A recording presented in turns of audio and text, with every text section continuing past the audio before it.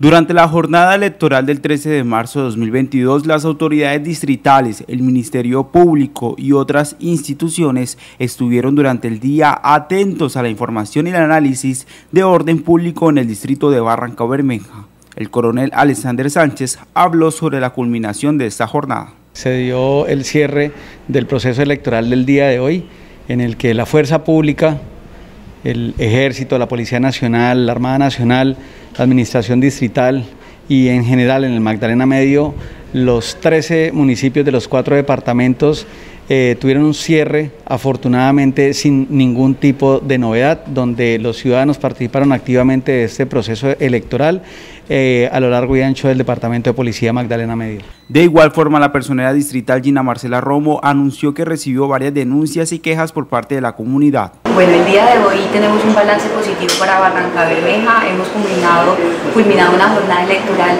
tranquila, sin alteraciones de orden público, claramente con quejas, con cosas por mejorar, donde la personería pues hará un seguimiento dentro de la Comisión de Seguimiento Electoral, haremos recomendaciones, puntos muy claros, movilidad para personas que tienen eh, restricciones de movilidad o discapacidades. Debemos revisar los colegios que se están eh, eh, evaluando para hacer puestos y puntos de votación.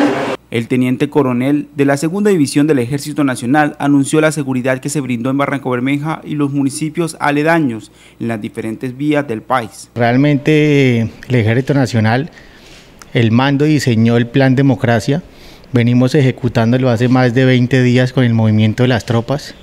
En este momento el batallón de artillería de campaña está cubriendo 20 puestos de votación, 43 mesas en todo lo que corresponde al área rural.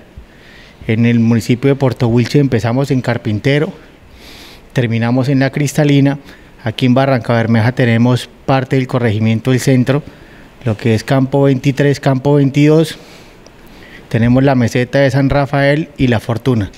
Realmente hasta el momento reportan el cierre de la actividad electoral sin ninguna novedad. Desde muy tempranas horas, el puesto de mando unificado PMU estuvo instalado en el comando de policía analizando temas de seguridad y elecciones en el distrito de Barranco Bermeja y el Magdalena Medio.